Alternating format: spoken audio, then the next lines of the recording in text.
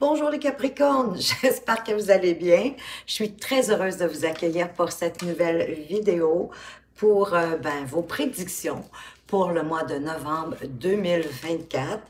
Pour tous les Capricornes en passant, hein, que votre Capricorne, votre signe du Capricorne soit du fait de votre signe solaire, lunaire, votre ascendant ou même votre signe de Vénus, et oui, ça s'adresse à vous. Bonjour, bienvenue les nouveaux. Je suis très heureuse de vous accueillir également. Donc, dans un premier temps, on va aller voir euh, dans cette vidéo un premier tirage avec le tarot, un tirage général. Donc, ça va être à vous de discerner pour quel domaine de vie est-ce que ça vous parle au niveau professionnel ou même personnel. Le deuxième tirage va être plus concentré sur vos, votre activité professionnelle, vos finances. Si vous êtes retraité, pensez que ce sont ben, vos activités que vous faites au jour le jour, au quotidien, ou encore même vos activités de loisirs. Et un dernier tirage concentré au niveau sentimental, amoureux, que vous soyez en couple, célibataire, peu importe votre situation amoureuse. On va aller voir ça ensemble et je vais terminer avec les cartes conseils pour chacun de vos décans. Vous allez tout retrouver ça dans la description pour pouvoir vous diriger le plus facilement possible et pouvoir regarder les portions ben, que vous voulez regarder si vous ne voulez pas regarder la vidéo dans toute son entièreté. Voilà, tout est à peu près dit, les amis Capricorne on va commencer par aller voir quelle est cette énergie qui va vous être auprès de vous, je dirais, au courant de ce mois de novembre. Quelle est l'énergie principale au cours de ce mois de novembre pour vous tous, les Capricornes? Quelle est cette énergie? De quoi est-ce qu'on veut en fait aussi peut-être vous parler en priorité pour vous permettre, ben oui, de mieux avancer avec plus de légèreté. Elle est ici. Waouh! On vous parle de voyage avec le numéro 2. Le numéro 2, le chiffre 2, en fait, en numérologie, qui nous parle, oui, de dualité, mais ça nous parle aussi d'union, de partenariat. Donc, voilà pour l'idée de la numérologie. Voyage, ben, ça peut être un petit voyage d'agrément. Ça peut être un voyage intérieur aussi, d'aller voir peut-être que vous êtes à la croisée des chemins, que vous avez besoin de peut-être de vous intérioriser. En tout cas, vous avez envie de changement dans votre vie. Donc ici, toutes les sortes de voyages nous parlent de ça. Donc peut-être est-ce que effectivement, on va aller voir avec les, les tirages de tarot. Qu'est-ce qu'on va en apprendre davantage sur cette croisée des chemins, sur ce voyage, qui peut être de changer d'emploi, qui peut être de déménager, qui peut être, oui, d'aller faire un voyage d'agrément pour se ressourcer, mais peu importe. Et le Yiking, qu'est-ce qu'il vous dit? Il vous parle de du vent, le vent. Aucune obscurité ne résiste à celui qui, avec persévérance, s'exprime clairement, sans violence, tout en gardant une fermeté rassurante. Lorsque l'énergie se combine avec la modestie, ce sens des responsabilités conduit à la réussite. Pour bénéficier d'un changement durable, il faut savoir souffler comme le vent, avec douceur et constance. C'est comme, comme si le vent va souffler sur vos voiles pour amener ce changement dans votre vie. Hein, on vous parle de, de changement. Moi, déjà, je vous parlais d'être peut-être à la croisée des chemins. Vous êtes devant possiblement une décision importante à prendre dans votre vie au courant ou peut-être au début du mois de novembre. Et ce vent ici va vous y aider. Vous avez juste à souffler avec douceur et constance sur ce que vous, allez, vous désirez pour pouvoir bénéficier d'un changement durable. Donc, allons voir avec le tarot pour le tirage général dans tous les domaines confondus de votre vie. De quoi est-ce qu'on veut vous parler? Oh, on commence avec la grande prêtresse qui vous parle, ben oui, de vous fier à votre intuition. Peut-être est-ce qu'il y a quelque chose qui était caché, qui était pas, pour lequel vous n'étiez pas au courant, qui va arriver vers vous et qui devrait arriver assez rapidement. Une intuition, j'ai envie de dire, qui va éclaircir vos idées, qui va vous donner envie d'avancer, une compréhension comme une sorte de conviction qui peut se passer au niveau de votre intuition, de votre cœur, de vos vibrations, de votre sensibilité, de vos sensations, mais ça peut être aussi de par un, phénomène physique. Hein. Parfois, pour certains, c'est un phénomène physique qu'on a. C'est différent pour chacun d'entre nous à vous découvrir lequel est votre phénomène physique qui vous parle. Hein. Ça peut être un frétillement dans la colonne vertébrale, ça peut être d'avoir des frissons ou au contraire d'avoir chaud, euh, d'être un petit peu étourdi, euh, les mains moites, en tout cas. Donc, vous comprenez, hein, c'est à vous de trouver de quelle façon ça se manifeste. Waouh, et on vous parle. Une intuition possible euh, avec, euh, en plus, on avait le cavalier d'épée qui vous arrive rapidement, puis qui vous permet possiblement d'aller vous expandre, d'accroître vos richesses, vos ressources, parce que cette reine de Pentacle, c'est une femme, euh, ben, c'est une reine qui est bien nantie, parce qu'elle sait gérer ses ressources, elle sait tenir les cordons de la bourse, du budget, elle sait quand c'est le temps de dépenser, quand c'est le temps de faire attention, et en même temps, ben, elle ne s'embourbe pas du superflu. Hein. C'est une femme qui va à l'essentiel, qui est bonne dans tout d'ailleurs. Soit c'est vous, soit c'est quelqu'un de votre entourage, mais j'ai le sentiment qu'il y a une intuition qui va vous arriver au courant du mois de novembre, possiblement pour euh, accroître plus de ressources euh, financières dans votre vie. De quoi d'autre est-ce qu'on vous parle? Du 2 d'épée, ben, on parlait de la croisée des chemins ici avec le voyage. Le 2DP, bon, c'est pas une croisée des chemins en tant que tel, mais il en reste pas moins qu'il y a une décision ici qui est à prendre, qui est difficile à prendre parce que peut-être que vous refusez de voir la vérité en face pour quelque chose ou en tout cas, il y a comme deux idées opposantes qui se manifestent à vous.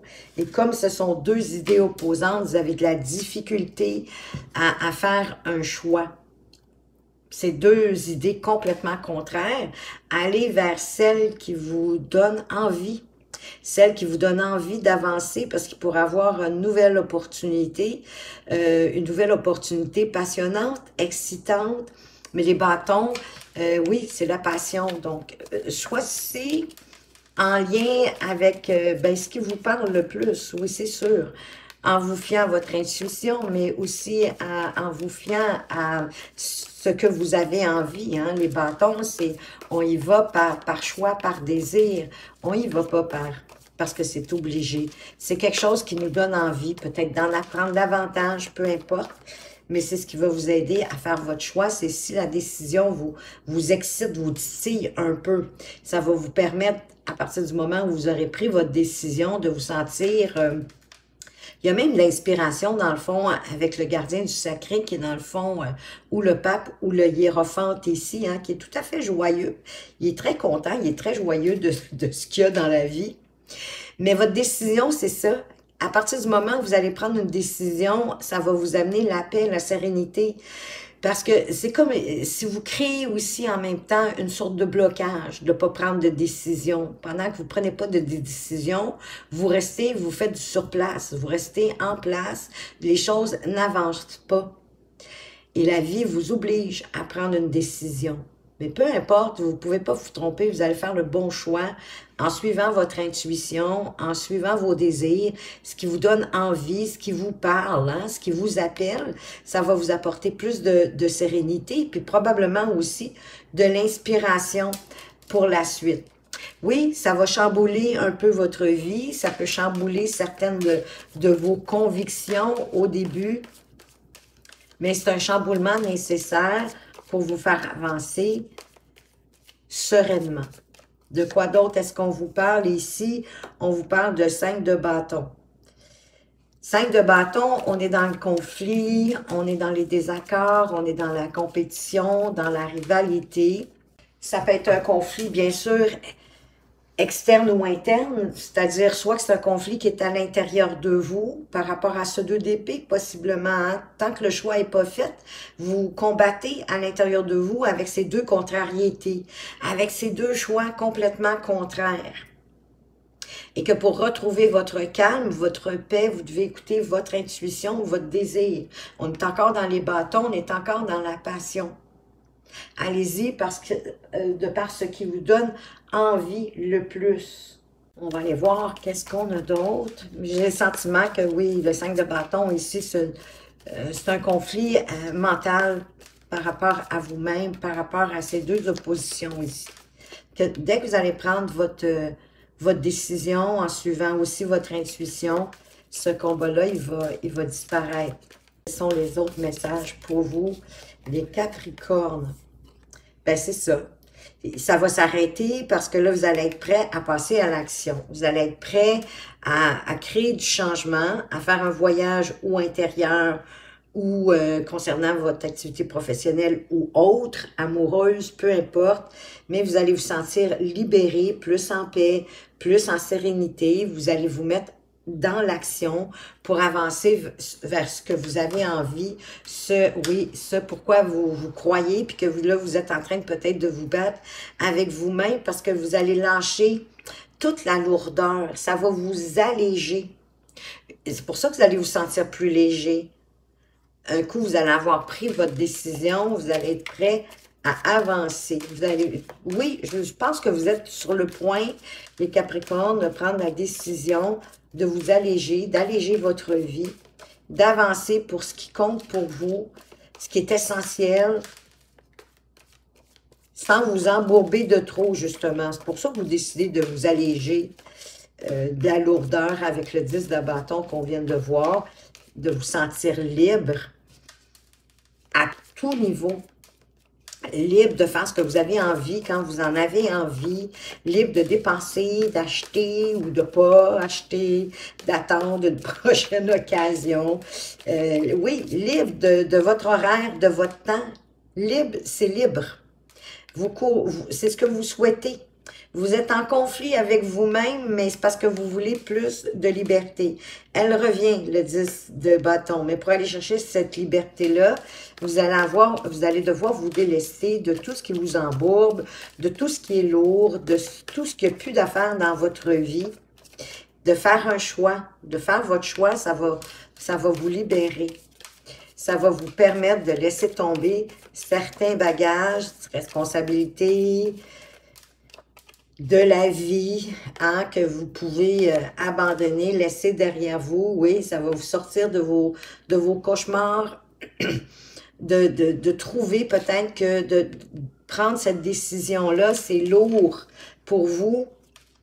C'est lourd, puis ça vous crée des cauchemars, vous avez de la difficulté à, à en endormir la nuit, ou en tout cas, vous faites pas des belles nuits de sommeil parce que vous ressassez continuellement, j'ai le sentiment, cette décision qui doit être prise, c'est tant que, et aussi longtemps que vous ne l'aurez pas prise, malheureusement, la situation, elle ne changera pas, elle ne bougera pas, et je suis convaincue qu'à ce moment-ci, vous savez déjà pardon, de quoi je parle. Il y a une situation dans laquelle vous savez que vous devez prendre une décision. Parce que tout découle de cette décision-là. Le 9 d'épée, la suggestion, le conseil, c'est souvent d'en parler avec quelqu'un en qui on a confiance pour retrouver votre sérénité, votre paix. Et des fois, en se racontant, en racontant notre histoire à quelqu'un d'autre ou même à soi-même, comme si une amie vous racontait votre histoire, ça vous, ça vous permet de sortir de la pièce de théâtre, de ne plus être l'acteur, mais d'être... Euh, euh, l'observateur, le spectateur de la pièce de théâtre, puis là, vous allez trouver des solutions ils vont venir au fur et à mesure, puis vous allez probablement en rire dans, dans peu de temps. Parce qu'ici, ça va vous permettre d'aller chercher justement plus de liberté, plus d'autonomie. Le neuf de coupe, hein, il y a un vœu qui se réalise, possiblement de vous défaire, puis de prendre enfin une décision, puis d'entamer le nouveau voyage que la vie vous suggère. J'ai le sentiment que c'est la vie qui vous pousse aussi vers ce changement. Restez modeste, gardez votre persévérance, exprimez vos besoins clairement,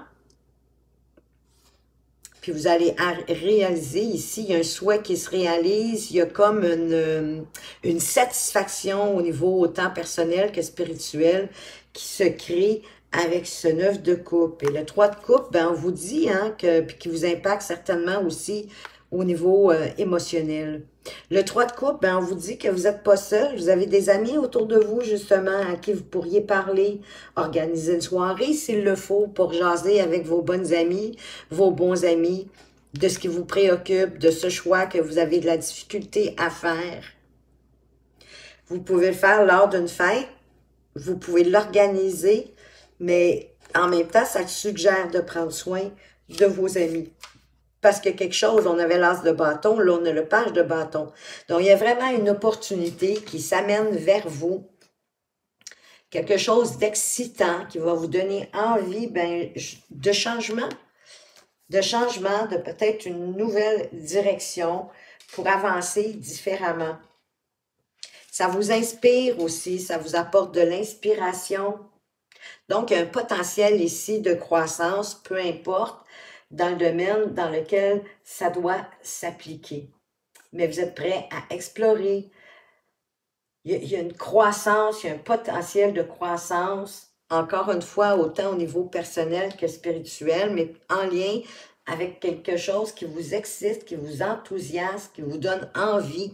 C'est vous faites une découverte de quelque chose d'excitant et de passionnant. Donc, n'hésitez pas à prendre des risques. Il faut prendre des risques, à explorer de nouvelles horizons qui s'ouvrent à vous, puis à faire confiance à votre intuition. Elle est là. On est dans les coupes ici, en plus, deux cartes de coupe derrière votre carte de bâton.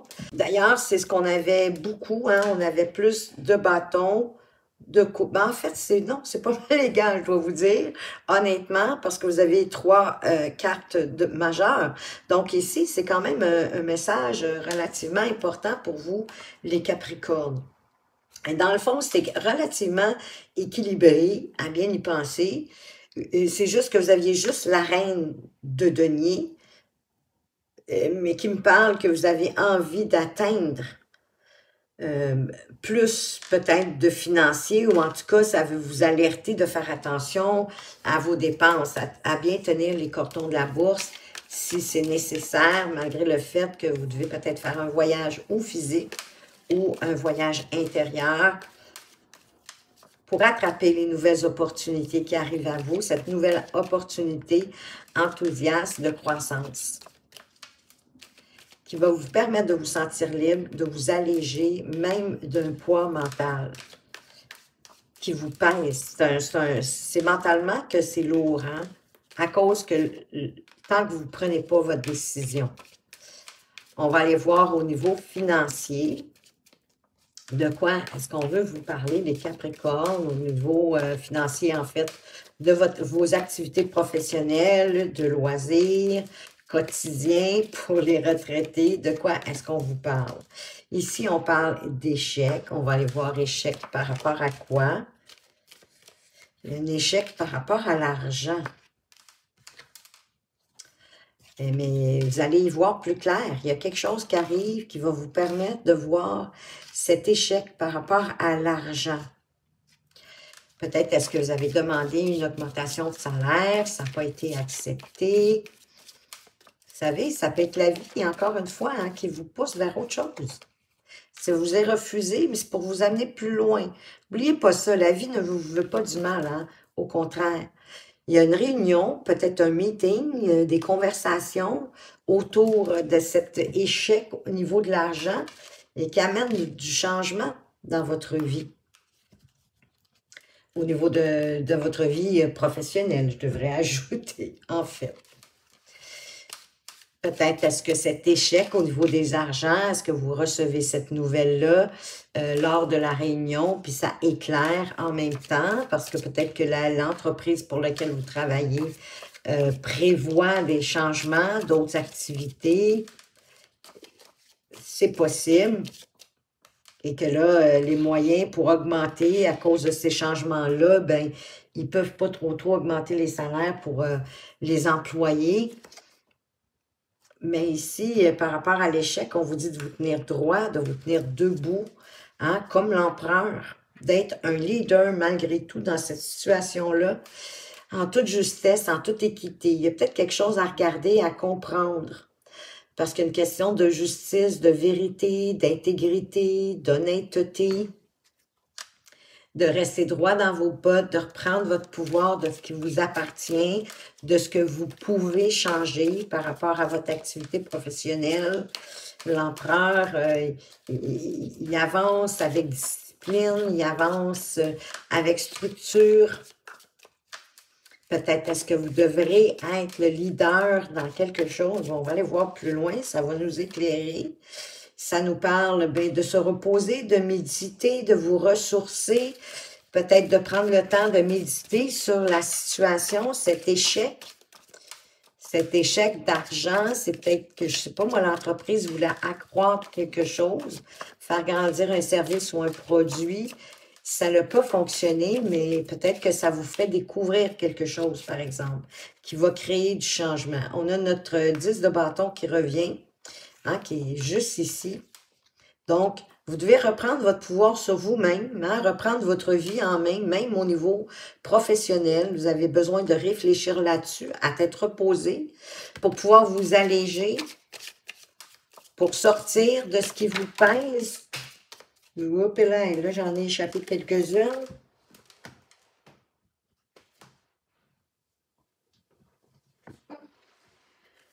Mais celles-ci se sont retournées. On a le diable, il y a quelque chose de toxique peut-être au niveau de votre, de votre activité euh, professionnelle. On a notre valet de bâton qui revient, hein, une chance de croissance, d'opportunité de faire accroître. Il était ici, notre page valet de bâton, c'est la même chose. Wow! Puis on a les amoureux. Ben, on revient à la notion de choix, de décision, une décision de cœur. Une décision de cœur pour vous. C'est plus une décision mentale ou une décision en lien euh, peut-être avec même la rémunération ou quoi que ce soit. Peut-être que ce qui vous pèse, il y, y, a une, tendance, il y a quelque chose de toxique au niveau euh, soit de vos pensées, de vos idées ou par rapport à votre activité professionnelle. Il y a quelque chose qui vous tire peut-être vers le bas qui vous empêche euh, de prendre, de croître, d'avancer, de pouvoir vous expandre en faisant un, choix, un choix de cœur.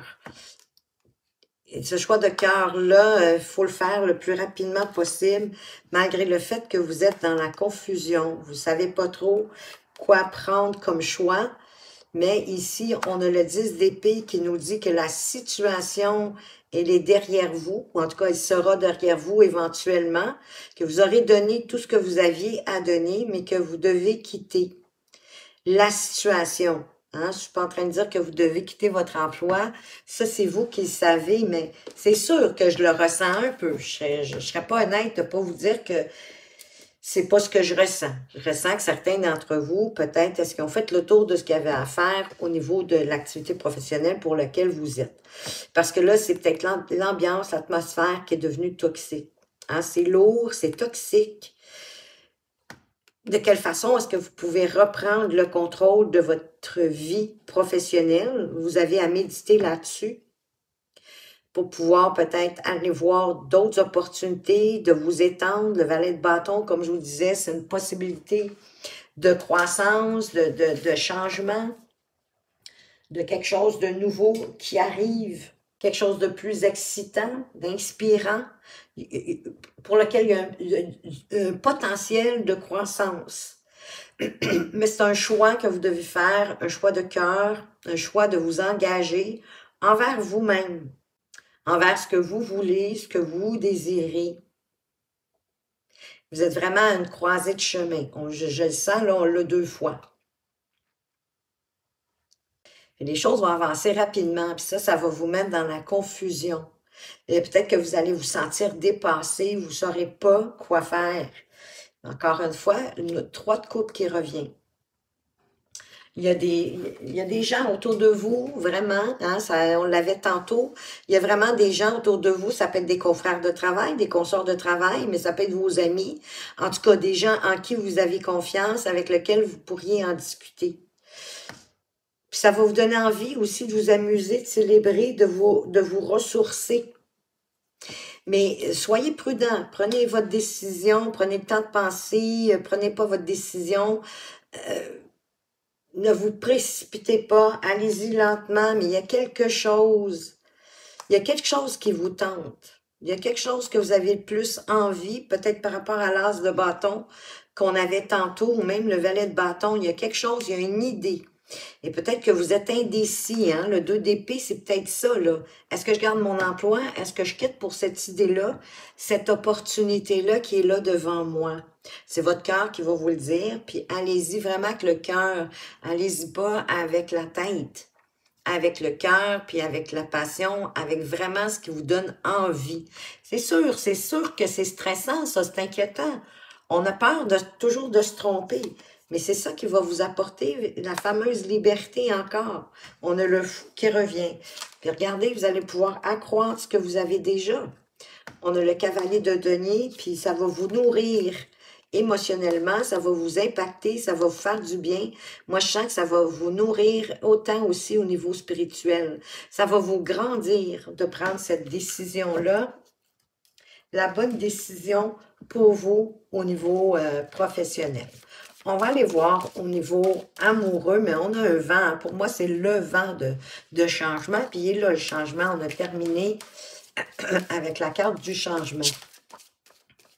Mais suivez votre cœur, suivez votre intuition, suivez vos envies, vos désirs.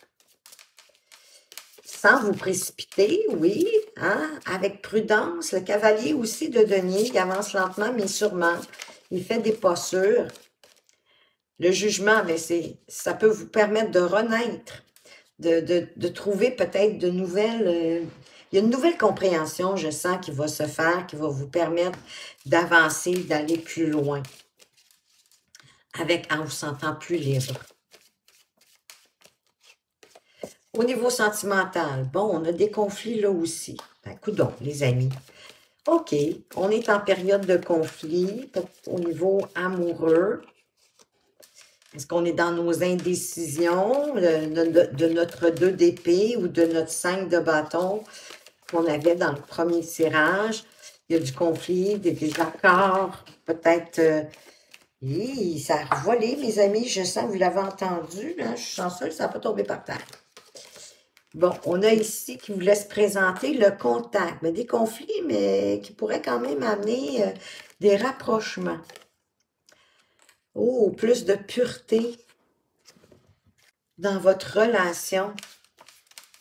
Des conflits qui pourraient amener à, se rapprocher, à se regarder bien, bien, intensément dans les yeux et qui apportent plus de, pureté, de, tendresse, de la légèreté, hein, de, la, de, la, sincérité, un peu, euh, un peu d'innocence pas de la naïveté, plus de l'innocence, hein, l'innocence liée à la pureté, des contacts purs, des contacts vrais, sincères, malgré le conflit, le désaccord, une dispute. Écoutez, là, hein, ça, ça empêche rien.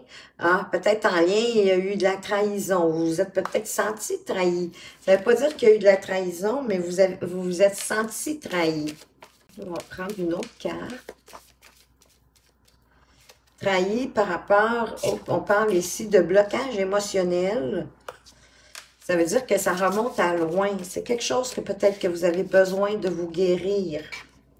Mais oui, on parle de rivalité. C'est drôle, hein? On a encore l'image du jeu d'échecs qu'on avait au niveau euh, du travail. Ouais, ben trahison, rivalité, euh, il y a peut-être de la jalousie, on, on sent peut-être que la personne avec qui on est, pour ceux qui sont en couple, qu'elle nous trompe, qu'elle nous est infidèle, ou en tout cas qu'il y a quelqu'un qui essaie peut-être de mettre euh, de la dans votre relation. Mais Tout ça peut être illusoire, hein? tout ça peut provenir d'un blocage émotionnel que vous avez vécu quand vous étiez jeune. Je ne suis pas une spécialiste, mais il y a peut-être quelque chose à aller sonder dans votre passé. Ça peut être par rapport à votre enfance. Parce que ça, ici, ça, moi, j'ai le sentiment que vous avez peut-être souvent l'impression d'être trompé, d'être... Euh, il y a peut-être de la jalousie, un manque de confiance en vous, donc automatiquement, un manque de confiance aussi envers votre, votre partenaire.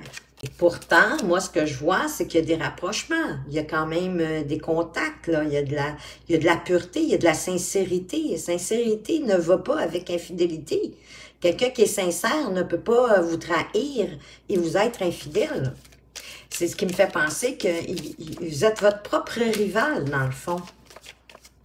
Par manque de confiance en vous, ça doit rendre un petit peu malheureux, malheureuse votre partenaire, parce que c'est sûr que c'est toujours décevant de se rendre compte que la personne avec qui on est, elle ne nous fait pas confiance. On va aller voir de toute façon plus avec le tarot, qu'est-ce qu'on a à nous dire ici des Capricornes. Ben là, on a notre cavalier de coupe, hein? On a, ici, on a un amant romantique, idéal, qui est en recherche du grand amour. Il n'est pas en recherche de quelque chose de, de petit à la sauvette, d'éphémère. Non, il est à la recherche du grand amour, il est à la recherche de quelque chose de concret au niveau amoureux, ou en tout cas, du moins, de prendre un nouvel envol dans la relation ici. Wow! On va aller voir plus loin. Moi, je pense que vous vous inquiétez pour rien jusqu'à date. Ben oui, on a le cadre de coupe. Quelqu'un qui veut, euh, vous sortir de votre ennui, peut-être même de vous sortir de ce blocage émotionnel, qui veut vous amener le monde, qui veut vous ouvrir le monde. C'est quelqu'un qui veut bâtir quelque chose vraiment de sérieux avec vous. Mais c'est comme si vous, vous, vous, vous y croyez pas. Ben, peut-être à cause de ce que vous avez vécu, c'est certain. À leur quand même, la carte du monde. Regardez ici le team, le, magnifique team, le couple qui se tient par la main pour soutenir la map monde, la Terre et un enfant. C'est pas rien, là. Donc, c'est un accomplissement. C'est quelqu'un qui veut vraiment aller loin avec vous. Quelque chose de sérieux. Oui, de vous laisser gâter, de vous laisser aimer. J'ai envie de vous dire d'y croire. Ben oui, on a le 6 de coupe qui nous parle encore d'innocence, de légèreté, d'équilibre, de stabilité. Ça parle du passé aussi. Et peut-être que vous avez de la difficulté à laisser votre passé au passé. Oui, euh, définitivement, vous êtes votre propre rival. De par vos pensées, de par vos craintes, vos doutes, votre insécurité, peut-être de ce que vous avez vécu dans le passé, mais ça peut venir aussi de l'enfance. De peut-être que vos parents, votre père était ou votre mère, peut-être qu'ils étaient infidèles, peut-être qu'ils passaient leur temps à se trahir. Puis là, vous, vous c'est l'image que vous vous êtes faite des relations d'aujourd'hui. Mais c'est pas la réalité. On a le deux de bâton qui revient. Vous pouvez, c'est à vous de définir qu'est-ce que vous voulez en amour. Le 2 de bâton ici dans ce jeu, c'est que vous pouvez modeler la relation que vous voulez. Et c'est à l'intérieur de vous. C'est un grand mystère à l'intérieur de vous avec la grande prêtresse de vous fier à votre intuition, de vous fier à vos ressentis, à votre vibration, à l'intérieur de vous. Est-ce que vous vous sentez, est-ce que vous, de un, est-ce que vous l'aimez cette personne-là? Quand vous êtes avec cette personne-là, est-ce que vous vous sentez bien? Vous vous sentez en confiance quand elle est là. Moi, j'ai le sentiment que tout ça, c'est quand la personne n'est pas là, qu'elle est partie travailler ou qu'elle fait des activités peut-être avec ses amis, un sport, peu importe. Mais quand elle est avec vous, vous êtes bien. Je, suis certaine que vous êtes bien, vous êtes comblé. Mais quand la personne n'est pas là, whoop, là, vous commencez à vous... C'est des conflits dans votre tête. Par votre manque de, de, confiance en vous-même qui provient de, de, ce que vous avez, moi je pense, de, de ce que vous avez été témoin jeune. Et c'est ça qui a créé le blocage émotionnel, de ce que vous avez vécu, de ce que vous avez été témoin. Mais pourtant, quand vous êtes ensemble, il y a des rapprochements, il y a des beaux contacts, c'est pur, c'est sincère, c'est comme innocent, c'est ouvert. C'est un peu ça aussi le style de couple qu'on avait tantôt. C'est l'innocence. C'est la légèreté. Mais c'est une très, très, très, très belle relation. C'est à vous de la modeler comme vous voulez. Donc, il y a un danger ici, d'une certaine façon. Parce que plus vous allez être jaloux ou jalouse, que vous allez manquer de confiance envers votre partenaire. C'est un, un, jeu dangereux. Il va falloir que vous appreniez à aller voir peut-être un spécialiste, un spécialiste quelqu'un, parce qu'un blocage émotionnel, c'est important de, euh, de le comprendre, de le trouver pour sortir de ce cercle vicieux-là, parce que c'est vous, votre rival. Parce que la personne qui est là, elle veut l'amour avec un grand A. Elle veut vous sortir de vos ennuis. Il manque une pièce au puzzle. C'est vous, la pièce du puzzle manquante. C'est votre manque de confiance envers vous-même et votre partenaire pour créer votre relation de rêve. C'est l'union, c'est la vérité, c'est comme si vous renouveliez vos voeux d'amour c'est la plénitude. Il ne peut pas avoir mieux que ça comme carte dans un tirage amoureux. Que vous allez comprendre que ça en a valu la peine de vivre ce que vous avez vécu jusqu'à présent. Parce que c'est l'extase. C'est une, relation qui peut vous mener très loin. Mais laissez-vous gâter appréciez ce que vous avez, ayez de la gratitude pour ce que vous avez, parce que vous avez le pouvoir. Vous pouvez prendre ce pouvoir de modeler cette relation-là. Il y a peut-être, j'espère, j'ose espérer qu'il y a une grande compréhension qui arrive à vous, une grande vérité. Fiez-vous à votre intuition, à vos ressentis, à vos vibrations, à vos sentiments, à vos phénomènes physiques, tout ce que j'ai énuméré tantôt, c'est ce qui va vous aider le plus parce que ça serait triste de gâcher une aussi belle relation pour le, ceux qui sont déjà en relation et pour ceux qui sont célibataires, c'est ce qui pourrait arriver vers vous. Je vous le souhaite plus profond de mon cœur. Moi, j'aimerais bien ça, ça. Je vais vous le dire. On va aller voir pour les Capricornes du premier décan. Quel est le conseil qu'on veut vous apporter ici? Tu as en toi la force, le courage, la connaissance. Pourquoi t'arrêterais-tu d'avancer? Peu importe le domaine de vie, personnel, professionnel, vous avez tout en vous pour avancer. Alors pourquoi est-ce que vous vous arrêteriez en si bon chemin, j'ai envie de dire? L'énergie du dos de deck, il ne faut pas avoir peur du changement.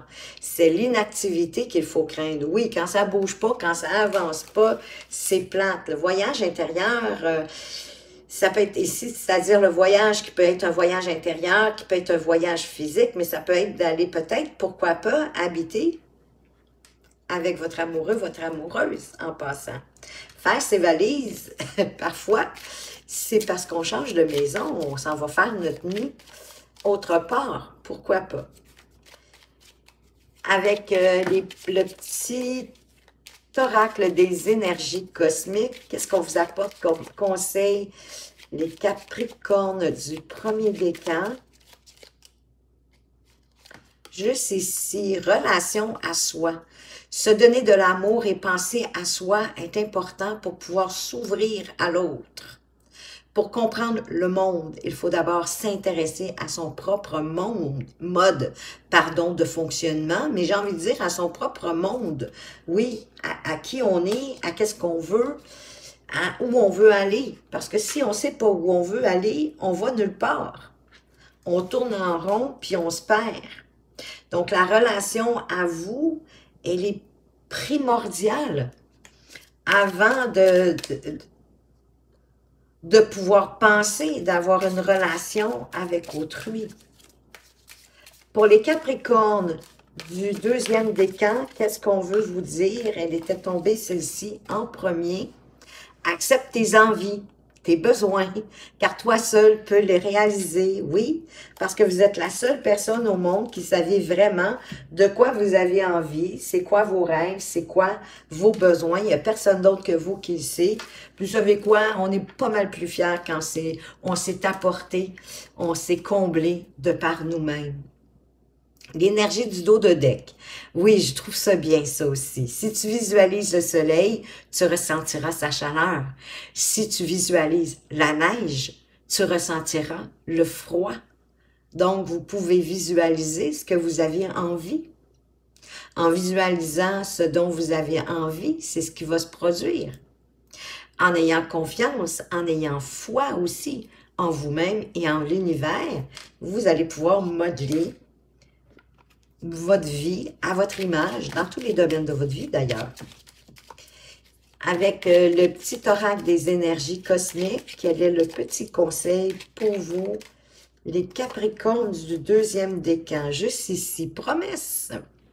À partir d'aujourd'hui, ne fais plus de promesses que tu ne peux pas tenir, c'est important.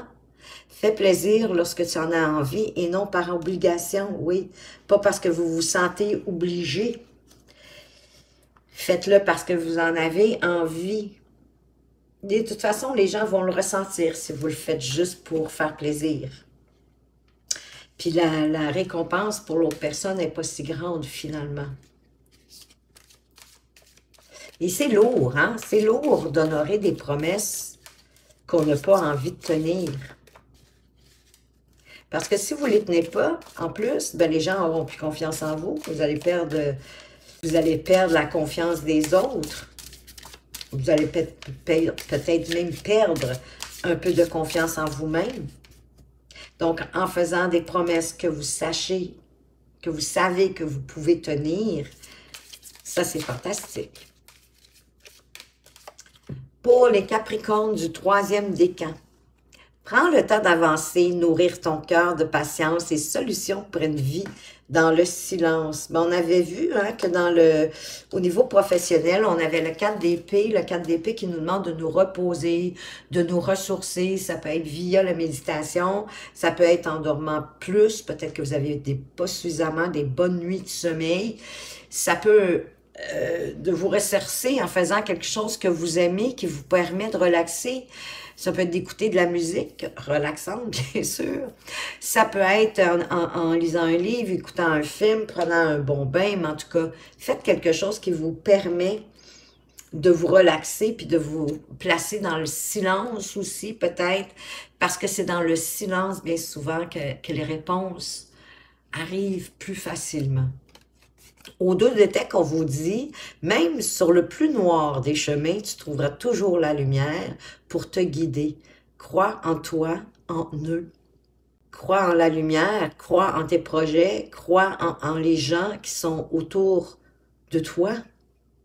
Il y aura toujours de la lumière parce que pour que le noir existe, la lumière doit exister.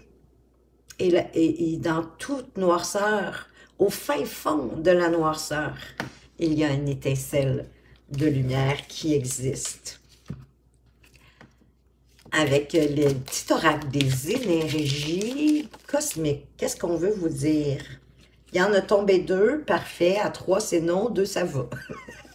Potion naturelle. Utiliser des huiles essentielles ou un remède simple et naturel peut aider en ce moment. Bon, ben peut-être que finalement, un bon bain avec des huiles essentielles, ça vous ferait grand bien. Ça vous permettrait, avec une petite musique douce peut-être, mais de, oh, hein, de vous reposer, de vous concentrer sur votre respiration, puis de faire le silence à l'intérieur de vous. Ombre et lumière. Se connaître signifie accepter son côté sombre et sa part de lumière. L'un ne va pas sans l'autre. Une partie de toi n'est pas à mettre de côté. Aime-toi tel que tu es. Les deux parts sont importantes. Les deux parts font la magnifique personne que vous êtes. Votre côté sombre comme votre côté lumière. On a tous. On a tous des choses qu'on aime de nous, puis d'autres qu'on aime moins. Comme on a des défauts, puis on a des qualités, comme tout le monde. On en a tous. On est tous ici de toute façon pour se parfaire, pour grandir, pour devenir meilleur, pour aimer en fait. C'est pour aimer at large tout ce qui existe, l'ombre comme la lumière. Et vous savez quoi, les Capricornes? C'est ce que je vous souhaite. D'aimer l'ombre et la lumière à l'intérieur de vous, mais qui vous entoure également pour vous grandir, vous nourrir et vous faire vous sentir bien. Voilà ce que j'avais pour vous, les Capricornes, pour ce mois de novembre. J'espère que ça vous a plu. D'ailleurs, si vous aimez ma façon de lire les cartes et que vous aimeriez avoir euh, une consultation euh, privée, vous allez retrouver tout au bas de la description mes coordonnées et moi, je veux vous remercier pour toute la reconnaissance que vous me manifestez sous chacune de mes vidéos, de par vos likes, vos commentaires, partages, etc. Merci, ça me touche profondément. Merci de votre présence. Merci de votre fidélité. Faites attention à vous. Mais surtout, surtout, prenez bien soin de vous et à tout bientôt.